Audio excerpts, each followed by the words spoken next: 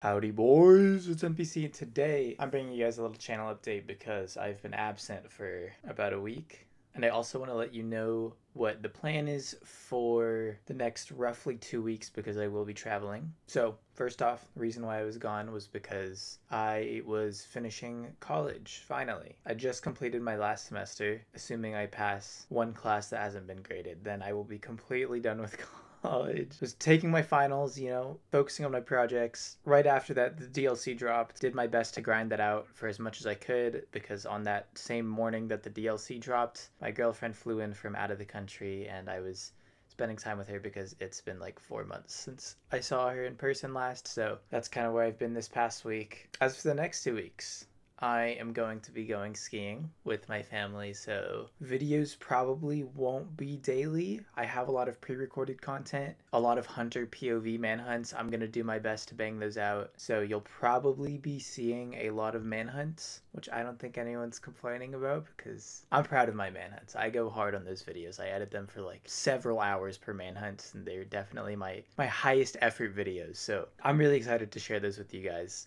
Um, the Hunter POV ones, let me know what you guys think about them. If you would like to continuously see Hunter POV manhunts in the future, because right now I've just been uploading my runner POV ones. And as for that Discord, that will come up probably when I return in the new year. And then I've got some special plans for that, so keep an eye out for that. But yeah, hopefully now that I'm done with college, I can dedicate more time to YouTube. That would be absolutely amazing. But I think that is about it. Thank you guys for your patience. Oh, really quick before I go. I have seen a lot of requests for hide and seek, so that will come probably in the new year as well. January 4th or 5th is when I get back, and then from that point, content will resume more normally. We'll be pumping that stuff out, getting all of the exciting videos and bangers out for you guys. So, yeah, that's it.